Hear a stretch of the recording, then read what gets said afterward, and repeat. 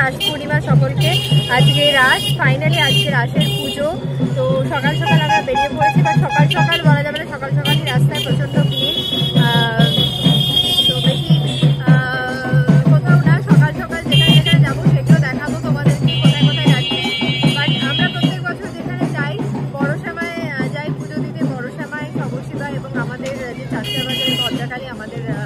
বাড়ির কাছে একদম।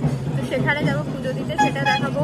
ভদ্রাকালীর পুজো প্রাণ প্রতিষ্ঠা এবং ভদ্রাকালীর যে নৈবেদ্য সাজানো অসম্ভব সুন্দর, সেগুলো সব তোমাদেরকে এই ব্লগে আমি শেয়ার করব। তো ব্লগটা স্কিপ করো না, পুরো ব্লগটা দেখো। আই থিঙ্ক খুব ভালো লাগবে। রাসের কিছু নতুন জিনিস তোমরা দেখতে পাবে এই ব্লগে তো চলো, আগে যাই বড়